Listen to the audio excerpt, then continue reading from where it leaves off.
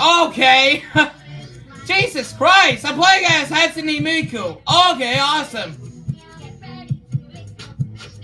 Do I run? I can't run in this game. Oh my god, I think I have to turn the volume down on my headphones because I love Little Einsteins, just so in case, you know. Okay, now I turn the volume down. Now we can just keep on going until something happens right now. What's with the music? That is distorted!